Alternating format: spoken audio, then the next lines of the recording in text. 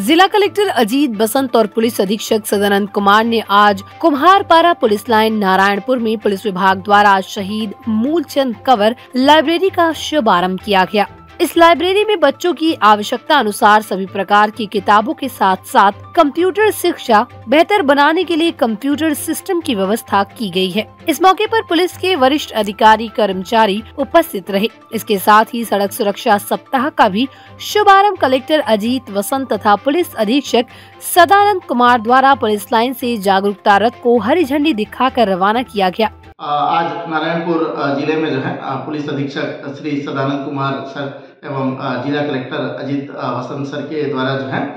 रक्षित केंद्र में एक लाइब्रेरी शहीद मूलचंद लाइब्रेरी एवं कंप्यूटर प्रशिक्षण संस्थान का जो है, आज उद्घाटन किया गया है। और इस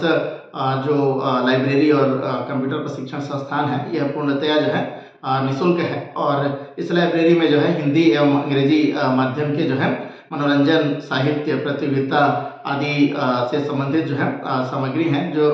जिसमें जो है क्षेत्र के जो लोग हैं, वो निःशुल्क तौर पर कभी भी जो है, आकर जो है, अध्ययन, अध्यापन कर सकते हैं। और इसके अलावा जो है 11 से 17 जनवरी तक जो है